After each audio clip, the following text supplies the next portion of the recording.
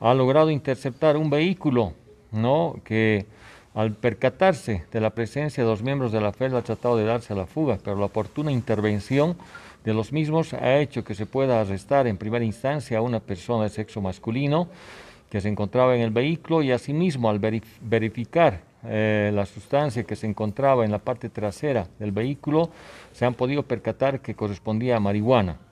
Ya debemos indicar que la cantidad eh, es de en 516 envoltorios, ya haciendo un peso total de 497 kilos con 240 gramos de marihuana.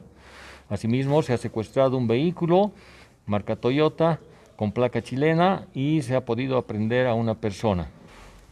Estamos hablando de un aproximado de medio millón de dólares que se está afectando a estos narcotraficantes eh, por el secuestro de la sustancia.